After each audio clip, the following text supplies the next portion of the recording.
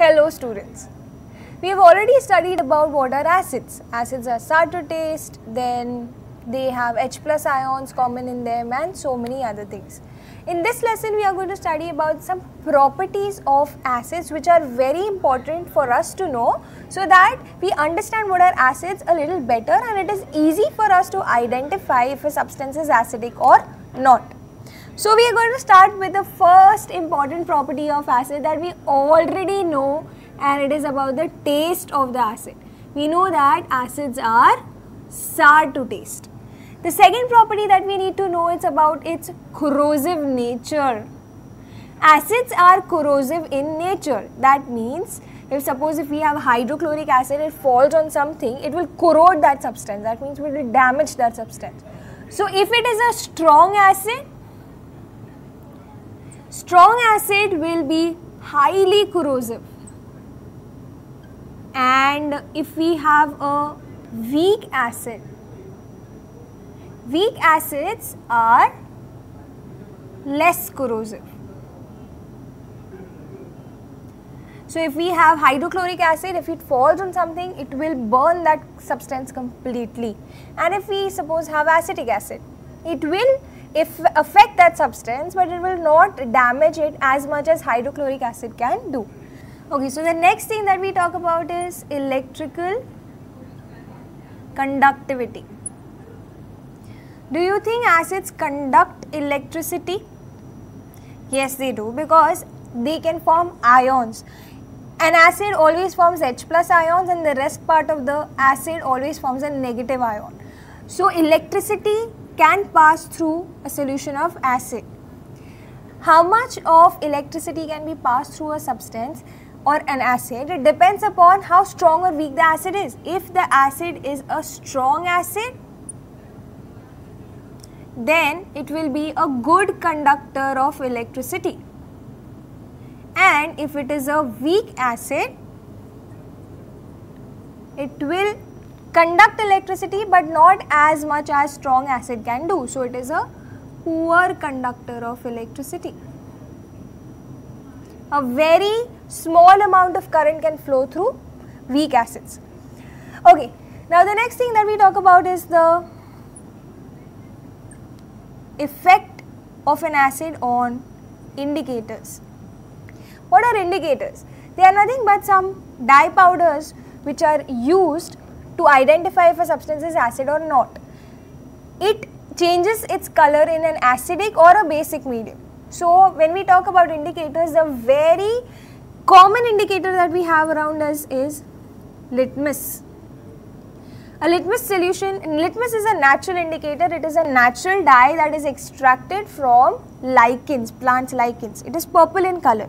So, this litmus changes to red when it comes in contact with acid and it changes to blue when it comes in contact with a base. So, in acids the color of litmus is red. Then if we talk about methyl orange, methyl orange is an artificial indicator or you can say a synthetic indicator man made it is orange in color and when it comes in contact with an acid it can change from orange to pink and if it is a very strong acid it can change to red. So, and when we talk about indicator phenolphthalein, it is phenolphthalein. Phenolphthalein is a colorless substance, it is a colorless liquid. When it comes in contact with the acid, it remains colorless. There is no effect of acid on it. So, these are some very important properties that we need to know about acids. Now, let us see some of the reactions very common reactions that we can see with acids. Okay, we see the reaction between an acid and compounds having sulfites and bisulfites.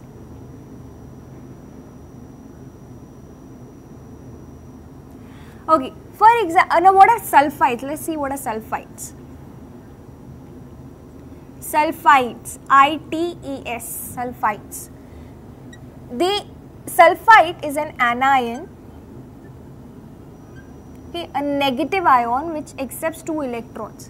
This entire thing has a net valency called minus 2.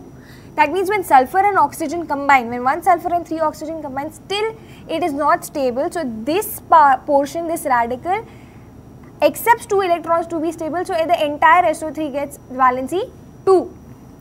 Now let's see what is bisulfite. Now bisulfite is nothing but, it will be sulfite SO3 but bi means H. So it is also called hydrogen sulfite. This entire group has valency minus 1. So it has a minus charge on it. So the valency of sulfite is minus 2 and the valency of bisulfite is minus 1. Okay. Now sulfites and bisulfites, they are the ions, polyatomic ions, they cannot be alone, they are always combined with something or the other. They are always combined with metals or some non-metals. Now suppose if sulfite that is SO3 combines with sodium that is Na. Sodium's valency is 1, sulfite's valency is 2. So when you cross multiply the formula becomes Na2SO3. So the compound is sodium sulfite. Okay, and if bisulfite combines with sodium, sodium is Na, bisulfite is HSO3. Sodium's valency is 1, HSO3 that is bisulfite's valency is also 1. So the formula becomes NaHSO3 and the name is sodium bisulfite. This is also called sodium hydrogen sulfite. So we are going to see what happens when an acid comes in contact with these. We take hydrochloric acid. Hydrochloric acid and here too we take hydrochloric acid. Let's see what happens. Okay, now always remember if on the reactant side you get SO3, SO3 of after the reaction will always convert to SO2 that is sulfur dioxide gas and there are two more products formed here. The positive part of this salt is Na and the negative part of acid is Cl. They combine and form a salt NaCl. And one more thing which is formed is water. So the three things formed in this reaction is NaCl, H2O and SO2. Sodium chloride, water and sulfur dioxide gas. Now in this reaction, same three things are going to be formed. Here SO3 will yield SO2 that is sulfur dioxide gas. Then Na will go with Cl and form NaCl and we also get water produced in this reaction. Okay. Now here we need to balance the equation. So we have 2 NaCl and 2 HCl. Here we do not need to balance, it is self-balanced. Okay.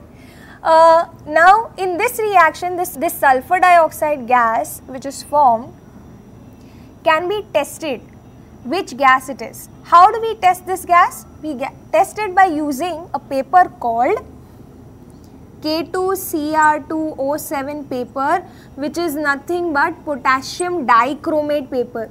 K2Cr2O7 is called potassium dichromate. This paper is specially used for testing sulfur dioxide gas. If in a reaction a gas is evolved and we have a doubt it might be sulfur dioxide, we can use this paper.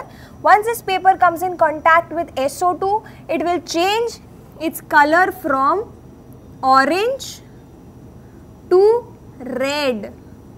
It is initially orange in color and then will change to red once SO2 comes in contact with So these are some reactions that we need to study regarding acid HCl. Okay, so these are the properties that we need to study regarding acids and some of them here are physical properties, some are chemical properties. Physical properties tell us how the acid looks, what is its taste. They are the properties which you can measure. And chemical properties tell us how the acids react with substances around them. So if we talk about taste, taste is a physical property. Then we have corrosive nature. Corrosive nature is a chemical property of any substance. It depends upon the substance's chemical structure. Then we have electrical conductivity which is a physical property as it can be measured. Then we have indicators. Now the action of acids on indicators is a chemical reaction due to which there is a color change. So using indicators if we test acids or base this is going to come under the property of chemical properties. Then uh, we have reaction of acids with sulfites and bisulfites this is obviously a chemical property of an acid here we see how acids react with sulfites and bisulfites.